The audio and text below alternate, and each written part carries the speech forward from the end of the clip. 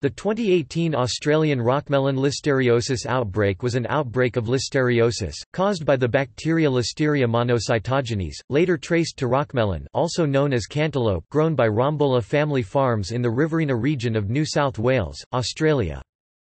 The outbreak killed six people and infected a further 16 in Australia and infected two more in Singapore, who had consumed rockmelon imported from Australia.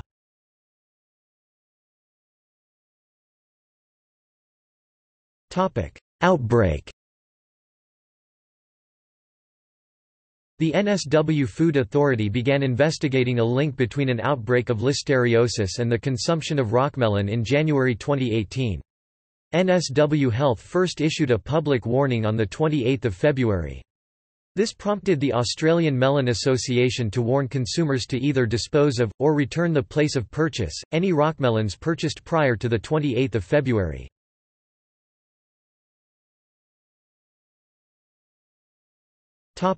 See also. Food safety in Australia